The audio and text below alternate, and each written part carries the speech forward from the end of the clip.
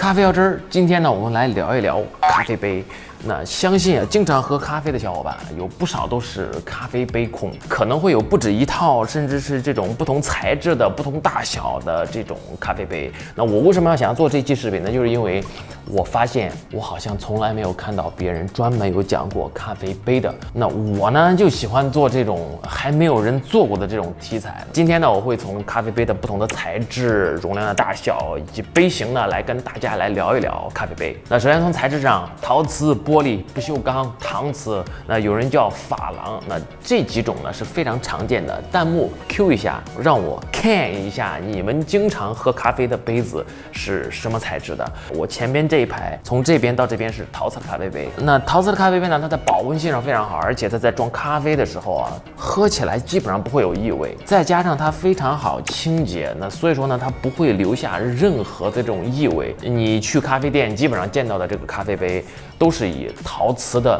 居多。那我记得我用的最长的咖啡杯啊，是这两套，一个是 ACME 的，一个是爱陶乐的。那这两套杯子是我在二零一四年的时候买的，用了七年多了，到现在依然还在用啊。它们的厚度啊就足够的厚，太薄的或者是玻璃啊、不锈钢的，你会发现它装咖啡的话凉的特别的快。我也想，这就是为啥我们平时吃饭喝汤的这种碗啊，都是比较厚的这种陶瓷的，大家都想喝一口热乎的汤嘛。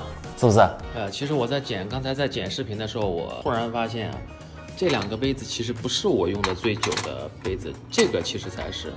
这个是意大利的 Ancup，那个时候我为了打比赛买的。我记得在二零一三年的时候，那个时候我的一个月的工资是一千八百块钱，在咖啡店里边。然后这个杯子呢，我一套买不起，所以说就跟几个咖啡师拼着买了一套，我分了两个。所以说每次搬家我都哇收藏着它。哇，满满的回忆。那另外就是你会见到越来越多的咖啡店，或者越来越多的人喜欢用玻璃杯来做咖啡。玻璃杯呢，它相比陶瓷的材质啊，凉的会快一些，保温性略差一点点。而且呢，它装了热的咖啡的话，它会比较烫手。如果你们要用玻璃杯装热的咖啡啊，就最好拿一个带把手的咖啡杯，这样的话不容易被烫到。我现在正在剪这期视频的时候啊，毕导给我端上了一杯烫的拿都拿不起来的这个玻璃杯出品的美式，这是啥意思啊？活生生的反面教材啊！来给你们喝一下。哎呀，我去。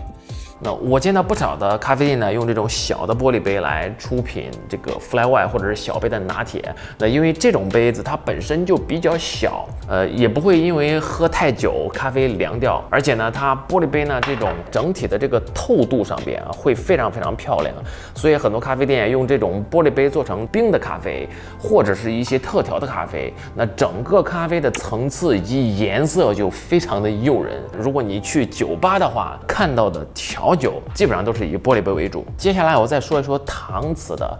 那搪瓷它有人叫它珐琅，其实不是特别常见。我记得我小时候啊，我爸妈就经常拿着这种大搪瓷缸里边泡茶叶喝。那那时候我记得我们这个河南老家经常用这种。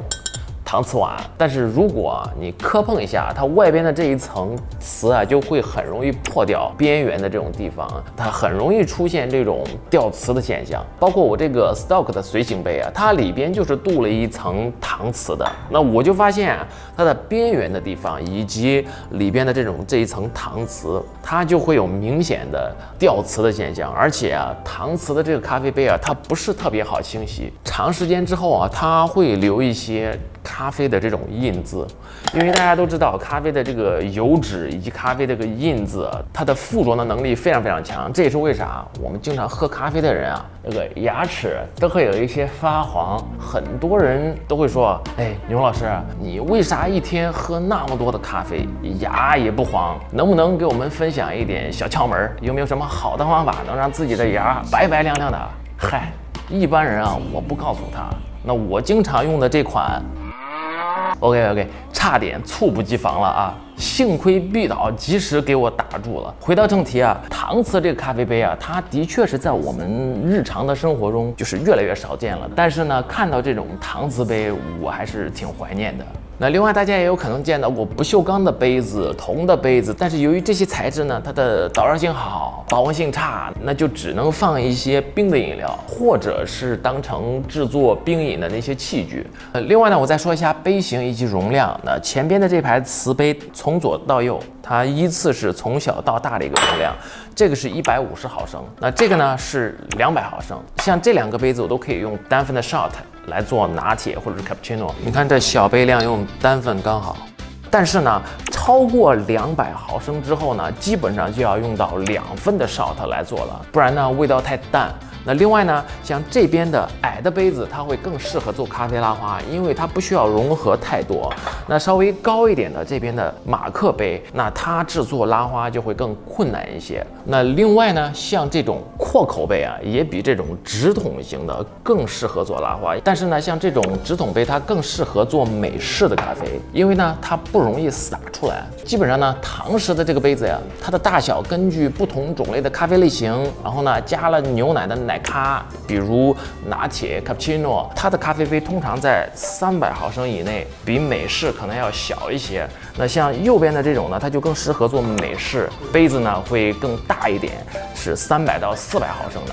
那另外呢，像不同的这个杯口的形状啊，对喝到这个咖啡的味道还是有一些差别的。这个听起来可能会有一点点玄学，但是呢，的确是有一些差异的。如果你细心的横向做对比的话，就比如这两个杯子，它是同样大小的玻璃杯，那我做一杯一模一样的拿铁在这里边，那你就会发现阔口的杯子，它的奶泡啊，比收口的这个杯子的奶泡啊更薄一些。即使我们用到同样的牛奶以及咖啡装到。这个不同的这个杯子里边，它就变得不一样了。那你喝到收口杯的时候啊，那前面的这几口就是这个奶泡的比例会更多一些。这也是为什么有一些品牌它会专门做一些蚊香杯。那我之前在韩国的咖啡店以及深圳的一些咖啡店，他们就用通过这样的一个出品方式来引导客人用不同材质以及不同形状的咖啡杯对自己喝到的这个咖啡的味道以及闻到的味道的影响。那其实这个还是蛮有趣的。那今天视频就到这里，关注我们牛。小咖，那后续呢会给大家带来更有意思、更有价值的视频。那我们下期见，Cheers。Yeah.